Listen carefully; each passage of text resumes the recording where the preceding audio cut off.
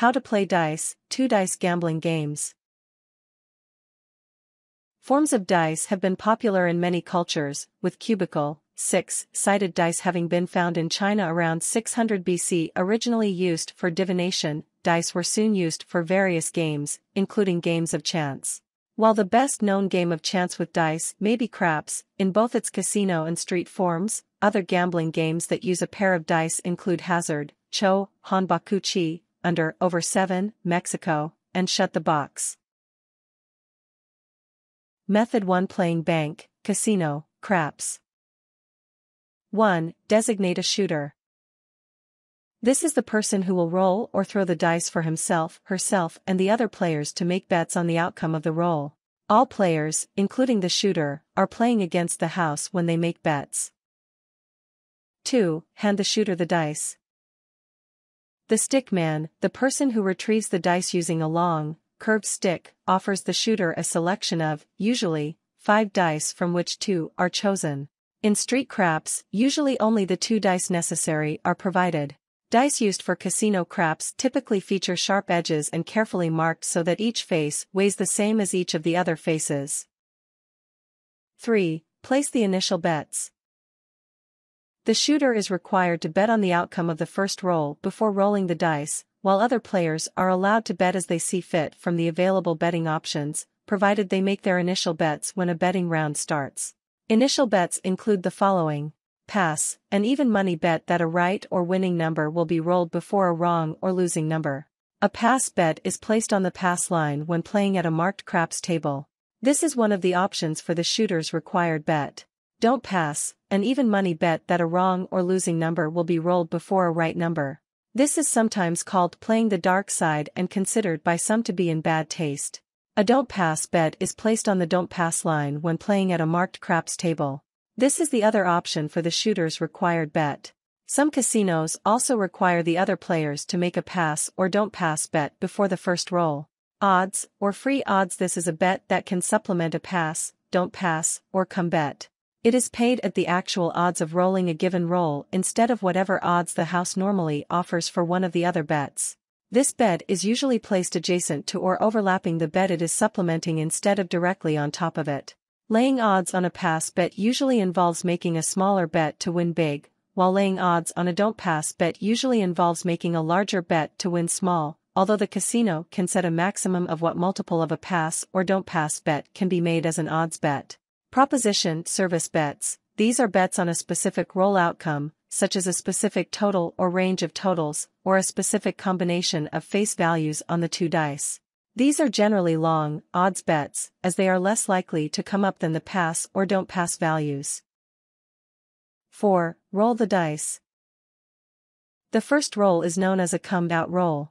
The outcome of this roll determines which bets are paid, lost, or held over for subsequent rolls. If the come-out roll is a 7 or 11, pass bets win and don't pass bets lose. The next roll becomes a come-out roll for a new round of play. If the come-out roll is a 2, 3, or 12, pass bets lose.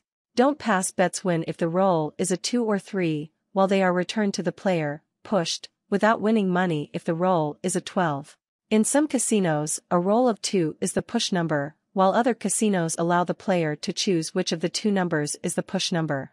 If the first roll is anything other than one of these results, the number rolled becomes a point that will win if rolled, and the round continues. Pass and don't pass bets are carried over. In casino craps, the shooter is required to roll both dice with one hand and have them hit the far wall of the table for the roll to count. If one of the dice flies out of the table, the shooter may either select one of the unchosen dice originally offered by the stickman or ask for the die back. In such case, the boxman, the person who manages the table and its bets, will inspect the die to make sure it has not been milled or loaded. In street craps, players may elect to use a backstop such as a curb, wall, or chair edge, stretch a blanket to contain the dice, or do without a restraint. 5. Place bets for the attempt to make the point. Pass, don't pass, odds, and service bets can be made prior to each roll where the shooter attempts to make the point the same as prior to the come-out roll. In addition, two other bets are possible. Come, betting that the shooter will make a 7 or 11 on the first point roll or will make the point before making a 7. Don't come, betting that the shooter won't make a 7 or 11 on the first point roll or will roll a number other than the point and then roll a 7 before the point can be made. As with the pass and don't pass bets, players can supplement come and don't come bets with odds bets. These bets cannot be laid down until a come out point has been established. 6. Roll to attempt to make the point. The shooter continues to roll until the point is made or a 7 is rolled. If the shooter makes the point on the first roll, pass and come bets win, while don't pass and don't come bets lose.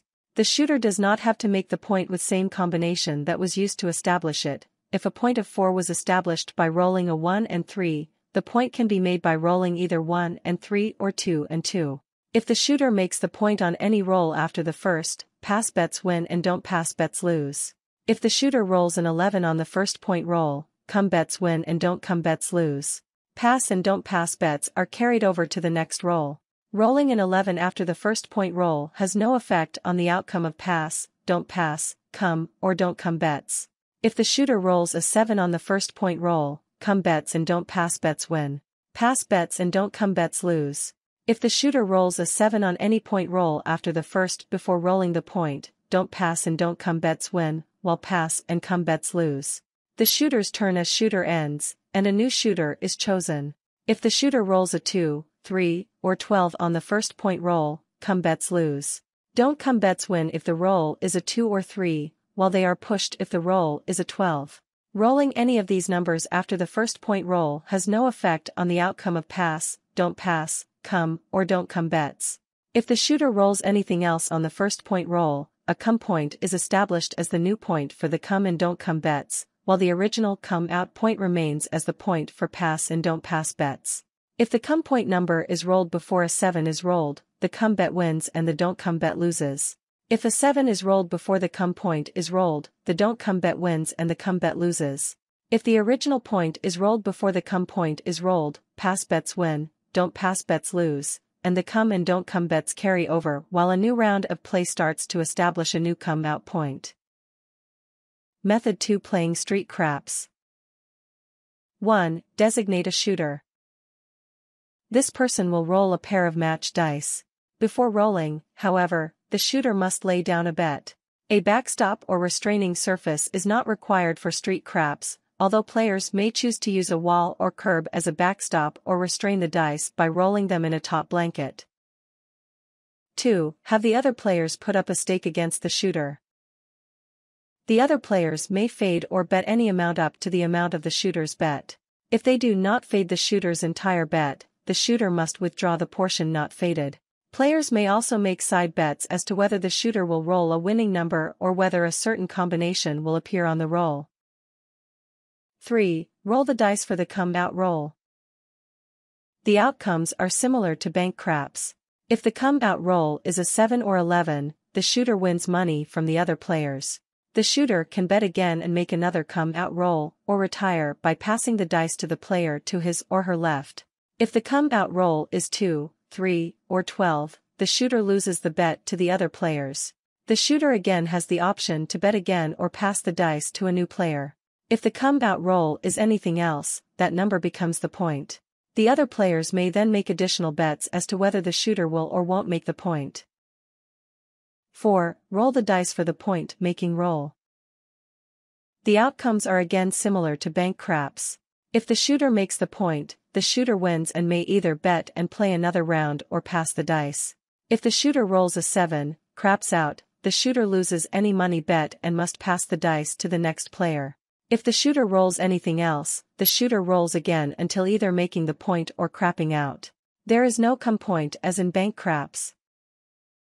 Method 3 Playing Hazard 1. Designate a caster. In hazard, the player who rolls the dice is called a caster instead of a shooter. 2. Have the caster specify a number from 5 through 9. This number is the main and determines which numbers win and which numbers lose when the dice are actually rolled. In some versions of Hazard, notably French rules, the main is determined by a preliminary roll of the dice.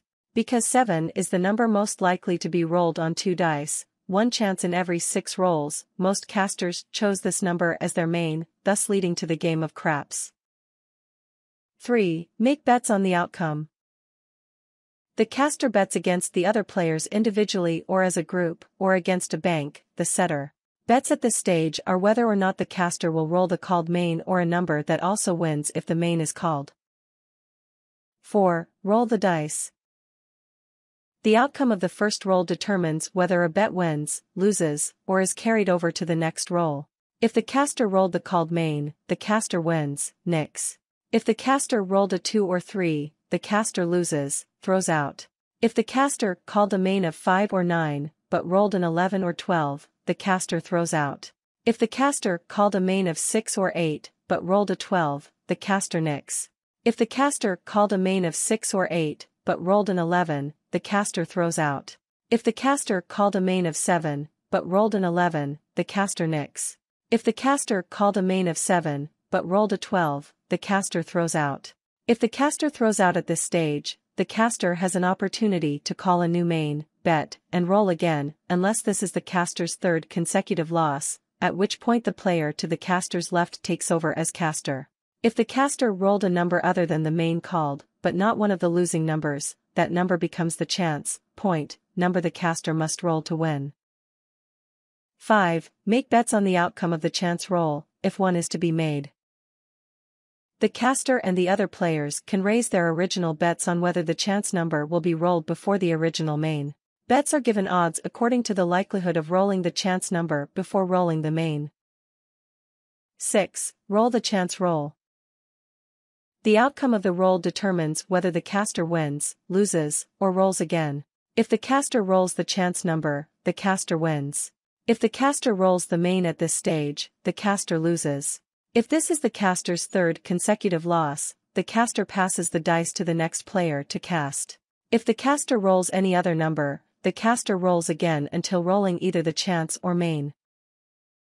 Method 4 Playing Cho-Han Bakuchi 1. Place two dice in a cup. In Japan, where the game originated among traveling gamblers who sat on a tatami floor, the cup or bowl is made of bamboo. 2. Roll the dice in the cup, then place it on the floor mouth down, concealing the dice.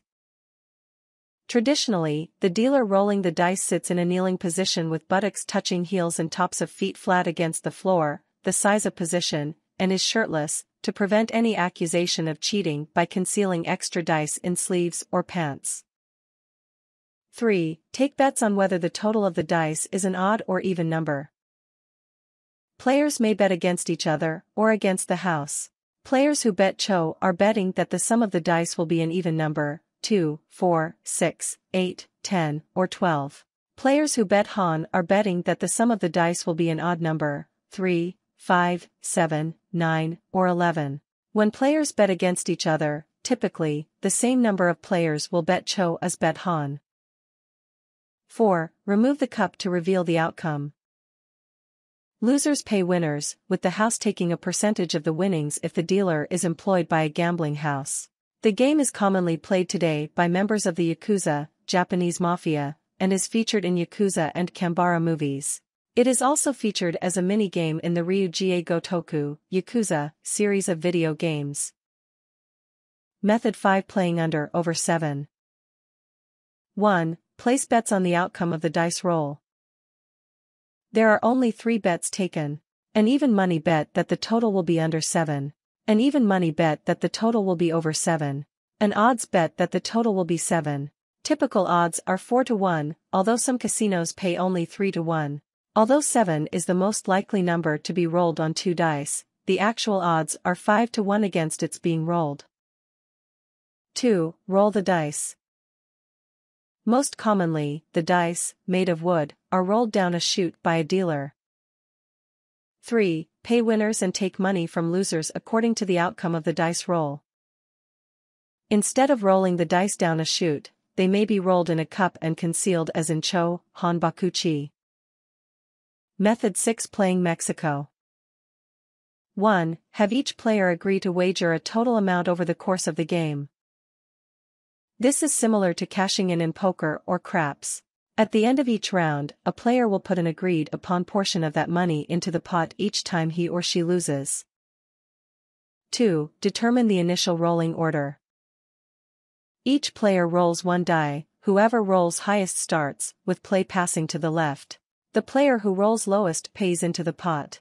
Having a table or surface with a backstop to roll the dice against and keep them from rolling off the table is recommended.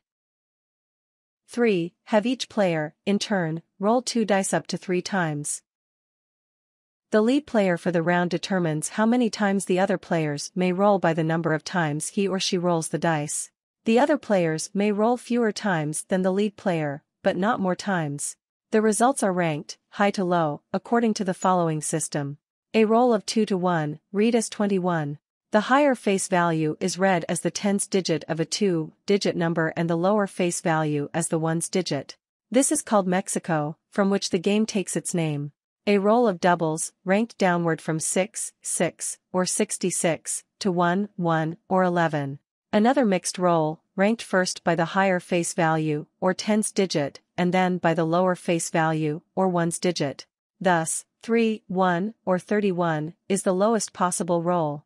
Roll values are not cumulative, if a player rolls 34 on the first roll and 31 on the second, they are not added to make 65. If the lead roller rolls Mexico in any of his or her allotted rolls, the dice immediately pass to the next player, who may make up to three rolls, and so determine how many rolls subsequent players may make if he or she chooses not to make all three. If that player rolls Mexico, the next player gets the dice to make up to three rolls, and so on. The leader's roll of Mexico also doubles the stakes for the losing player. Players should decide before starting play if additional rolls of Mexico during a round further increase the stakes and by what method. However, if any player other than the lead player for a round rolls the first 2 to 1 combination, it is not treated as Mexico and the stakes are not increased. If two or more players tie for lowest score after everyone has played, they play a round of Mexico among themselves to determine who is the loser. 4. Have the round loser pay into the pot. If the loser loses his or her stake on paying into the pot, that player is eliminated from the game. 5. Pass the dice to the next player. Play continues as before, with the person with the lowest roll paying into the pot and eliminated if his or her stake is wiped out. The last player remaining with stake money wins the pot. Method 7 Playing Shut the Box 1. Gather the players. Shut the Box, also called Batten Down the Hatches, Canoga, High Rollers, the game show of the same name derives from it, Clackers, or Zoltan Box, is normally played with 2 to 4 players for money, although it can be played as a solitaire game. When played for stakes, each player kicks a certain amount of money in the pot, which the winner will collect when the game is over. 2. Open all tiles on the box. The box and shut the box is labeled with tiles numbered from 1 to 9. At the beginning of the game, all the tiles are open.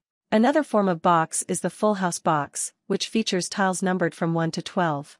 A variation of this form of shut the box is the 300, which has a second box with tiles numbered from 13 to 24. The game may also be played with some of the tiles already closed. In even Stevens, only the even numbers are open, while the odd numbers are closed. In against all odds, only the odd numbers are open, while the even numbers are up. In 3 down extreme, the numbers 1, 2, and 3 are closed, while the rest are open. In lucky number 7, only the 7 tile is open and the box is passed around the players until one rolls a 7 to close it. 3. Determine who starts. This can be done by having the players roll one or both dice, with highest roll going first. 4. Have each player roll the dice, in turn. Depending on the version being played, the player must roll both dice as long as the 7, 8, or 9 tiles remain open. Once those tiles are closed, the player may choose to roll one or both dice on each turn. In some versions of the game, if a player rolls doubles, the player gets an extra turn. This option was used on the game show High Rollers, where an insurance marker was given to the player if he or she had a legal play with the value rolled. In other versions of the game, a player must roll both dice until the sum of the values of the only tiles open is 6 or less, 1, 2, 3, 1 and 5, 2 and 4, or 6. 5. Use the total of the dice to determine which tiles to close. Tiles whose face values add to the same values as the value rolled on the dice may be closed. If the value of the roll was 7, any of the following closures are legal. Closing the 7 tile only. Closing the 1 and 6 tiles, whether the individual die values are 1 and 6 or not. Closing the 2 and 5 tiles, whether the individual die values are 2 and 5 or not. Closing the 3 and 4 tiles, whether the individual die values are 3 and 4 or not. Closing the 1, 2, and 4 tiles. If the game is played tie style, only one tile can be closed on each turn, either one of the two face values on their dice or their sum. If a value of 7 was rolled as a 3 to 4 combination, the player could shut the 3, the 4, or the 7 tile, but not any others, and not any combination that added to 7. Other variations of the game require a certain tile to be closed on the first turn, or the player loses. In 2 to go, the 2 tile must be closed first, a first roll of 4 means an automatic loss. In 3 to go, the 3 tile must be closed first, a first roll of 2 means an automatic loss. 6. Continue rolling until no more tiles can be shut. Once a player rolls a number that cannot legally close any of the tiles still open, that player's turn is over. At this point, the player adds the values of the still open tiles to determine his or her score, if the 2 and 3 tiles are the ones still open, the player scores 5. This is known as the golf variation. In the missionary variation of shut the box, a player's score is the number of tiles still open. If the 2 and 3 tiles are the ones still open, the player scores 2 for 2 still open tiles. In the digital or say what you see variation of the game, the player's score is a number made using the digits still displayed after making a roll that can't shut boxes. If the 2 and 3 tiles were still open, the player's score would be 23 instead of 5. 7. Pass the box and dice to the next player. The tiles are re-opened, and the next player tries to shut them by rolling the dice until no more tiles can be shut. This repeats until all players have had a chance to try to shut the box. The player with the lowest score wins the pot. If any player succeeds in shutting all the tiles on the box, that player wins the game automatically and gets double the stake from the other players. The game can be played in rounds, tournament style, using the golf scoring variation, where each player's score for a round is added to his previous score. Once a player reaches a total of 100 after a round is over, the player with the lowest score wins. It can also be played elimination style, where when a player reaches a total score of 45 or greater, that player is eliminated.